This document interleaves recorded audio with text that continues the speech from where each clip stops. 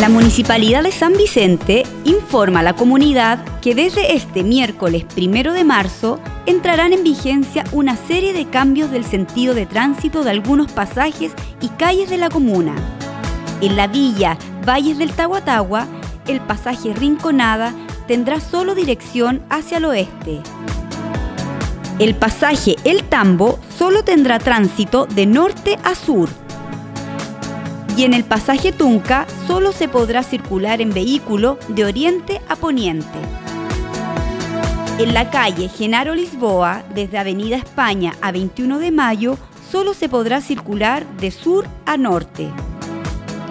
Por su parte, la calle Arturo Prat, entre Avenida Diego Portales y General Velázquez, tendrá un solo sentido de dirección, hacia el oriente, Además, en esta calle se autoriza estacionamiento de vehículos al costado izquierdo y en el sentido del tránsito de la calle.